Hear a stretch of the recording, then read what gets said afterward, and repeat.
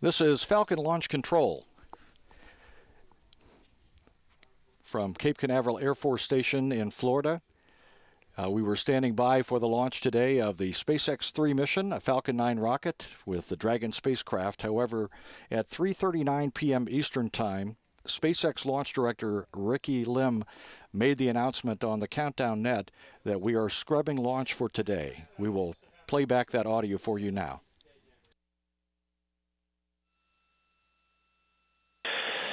This is LD on Countdown 1. Um, as folks heard on the Anomaly Net, uh, we have encountered an issue that will uh, result in our scrubbing today's 414 launch attempt.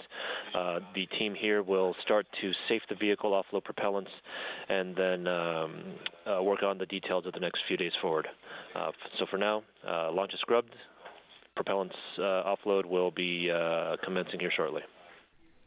So we will stand by for more information on the next launch attempt of the SpaceX 3 uh, mission. The next opportunity is Friday, April 18th, with a T0 of 3:25 p.m. Eastern Daylight Time, and we'll uh, keep you apprised of information via normal uh, NASA public affairs channels to let you know when the next launch attempt occurs. This is Falcon Launch Control.